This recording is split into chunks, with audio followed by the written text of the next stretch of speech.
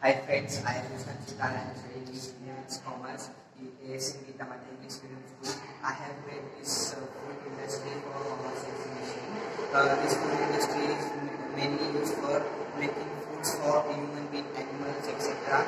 Uh, this industry made uh, any type of foods like uh, milk, uh, like milk, bread, milk, bread, burger, pizza, uh, these foods we make here for health, for health and uh, for health.